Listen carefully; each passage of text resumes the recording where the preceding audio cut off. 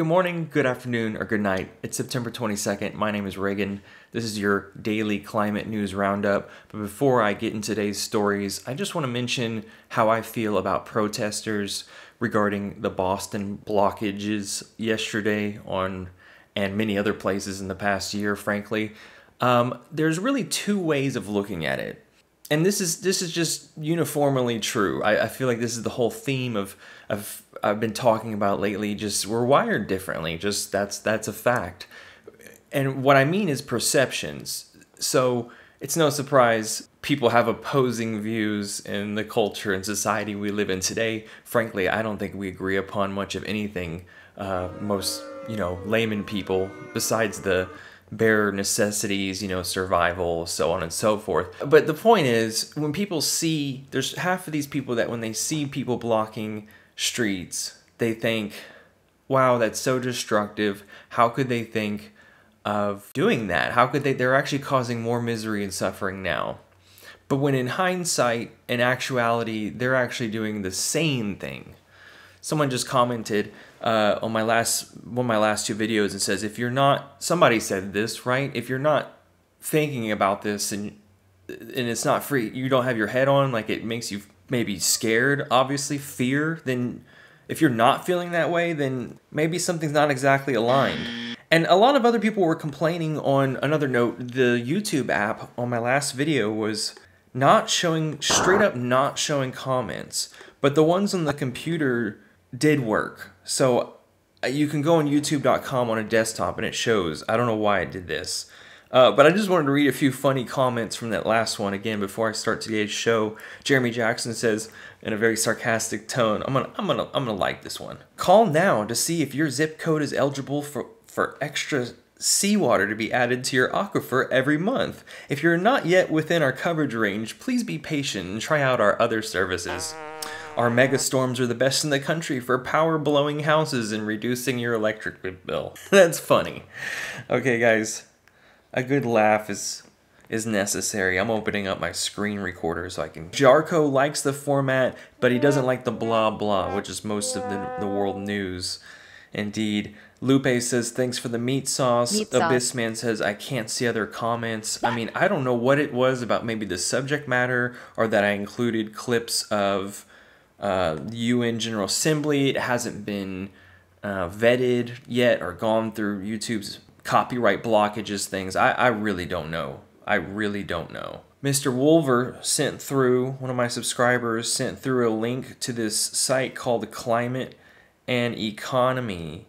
Uh, I'll get to this in a moment. But let's read this opinion piece from USA Today. I just I just went through MSN today. Does it matter? It all pulls up the same traction of results. Does it really matter at this point? Let's just read about what's happening. This is the climate news update. I just pick a bunch of the spread of climate doom on TikTok is hurting the climate justice movement and Gen Z. This last year I saw a TikTok that troubled me.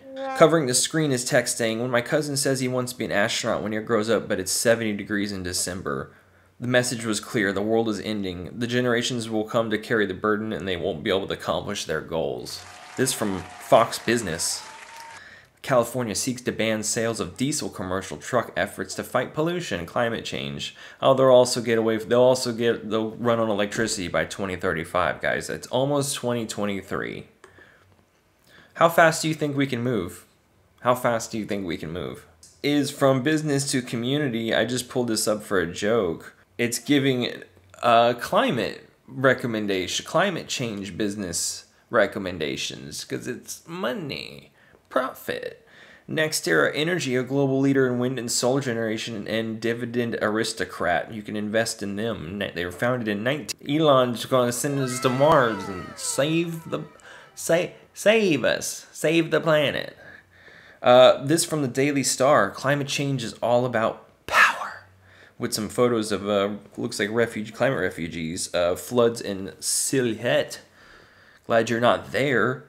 To save our crippled, let's just read the, the ending closing paragraph. To save our crippled planet from the clutches of these politicians, we should use our power to shut down their power by voting them out of office. They're more of a threat than planet and climate change. Yeah, psychopaths.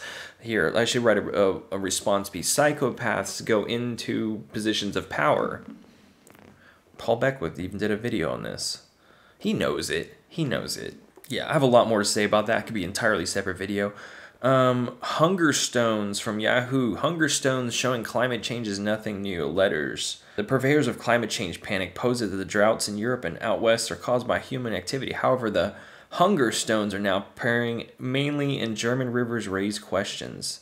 There are carvings to warnings to future gener- generations. In Germany and ethnic settled communities through the 15th and 19th centuries. Anyways, on these stones, he says, if you see me, then weep a warning that the drought would lead to hardship and famine. There were neither cars nor industries plaguing humanity in 1400, but the, the earth was not heavily peopled. Uh, Angelina Jolie, you know her, she said on Wednesday that she feared many people she had met during her visits to flood hit areas would not make it if more aid did not arrive. Yeah, you think? Is she, do you think she's really like a, a bitchy wife? Do you think she nags a lot? Entire countries could vanish because of climate change soon. This from. Of super I don't know. I just wanted to see what the lady had to say. Tuvalu Prime Minister Kausea Natano is racing to save his tiny island by by from drowning by by 13 to 16 feet above sea level through land reclamation. Do you know we might have a copper shortage soon? I don't know if I got that link, but it's going to cause a cop. We're going to have a copper crisis. So imagine we're trying to build all this renewable green technology, the sucking carbon kind, and the electrification of our grid, but we don't have the copper to transfer the energy. What a mess. What a mess. Why is the greatest threat of the planet so little concern to most Americans? Hmm, you tell me. It's shocking, frankly, that the global warming ranks 24th on a list of 29 issues of voters they think they'll say they'll vote about in November, says Yale program on climate change. Okay, an opinion piece, right? This is this is straight up saying how can people be so blithely unconcerned when the clear consensus of scientists is that climate disruption is reaching crisis levels and will result uh, not only in more raging storms, droughts, wildfires, and heat waves, but very possibly a famine, mass migration, collapsing economies, and war.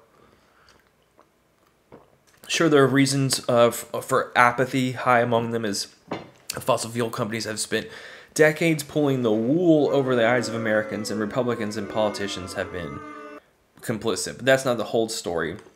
To try to understand a little bit more, he had a conversation with David Fenton in his forthcoming book, The Activist Media Handbook, due out in November. Y'all want to see Una, don't you?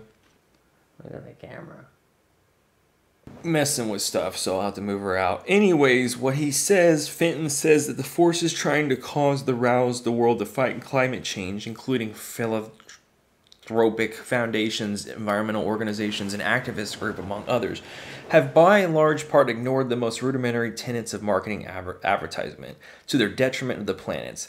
That's because they believe the business of selling ideas is fundamentally dirty, manipulative, and beneath them. They're convinced that data, truth, and evidence are what matter, Fenton says. To them, and we're talking about a lot of well intentioned lawyers, scientists, and people who've studied the humanities, good ideas sell themselves.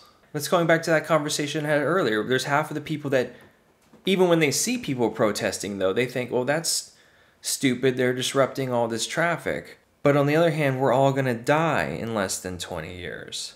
So we gotta sell people on like, do we gotta make like a Marvel Thor movie about it? Do we need to make a Avengers movie about it? Don't Look Up came out, which is completely cool. What you know, what what do we need to do? So instead of spending money and resources on shaping public attention, they keep commissioning more policy reports and think tanks and convening more global meetings of scientists on the presumption that the steady acceleration of irrefutable facts will ultimately prevail.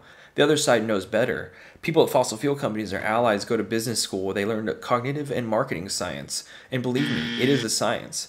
They learn how to sell the products and service, they invest in defining messages and reaching out to people. Our side does not what are some so we got to put it on our little kit kat bars and, and mcdonald's burgers and when every time you wrap it you know, unwrap it. It says like, no, you won't have access to clean water in two years.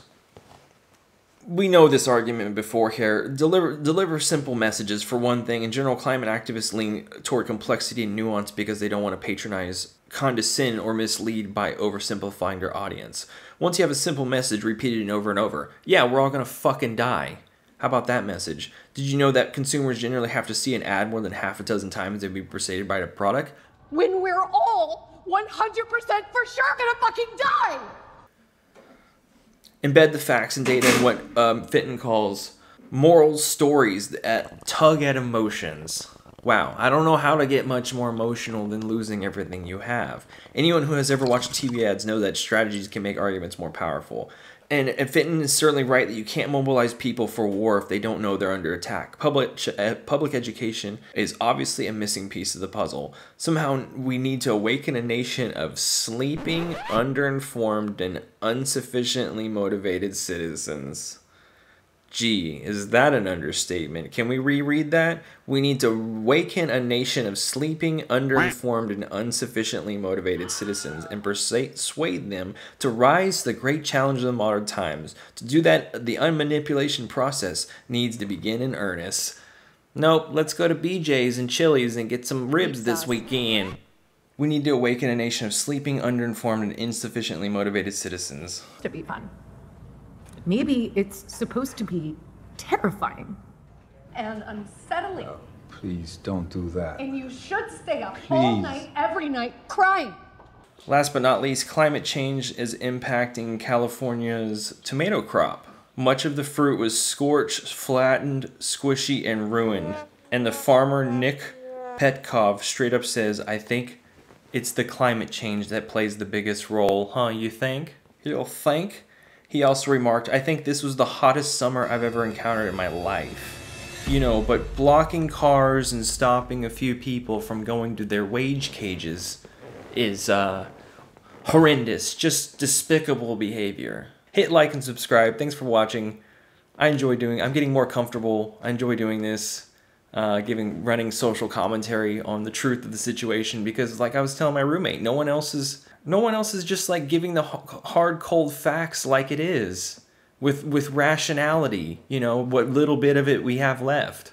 But Black Bear News is a great channel too. Thanks, guys. I'll talk to you later. Peace.